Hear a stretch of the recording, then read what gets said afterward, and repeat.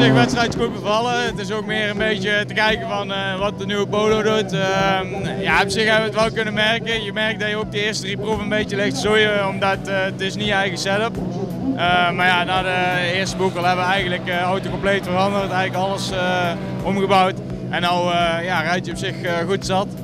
staat redelijk naar mijn stijl. En, ja, ik denk dat we toch een goede indruk hebben kunnen krijgen en een leuke wedstrijd hebben gehad. Hoe vond je deze rally?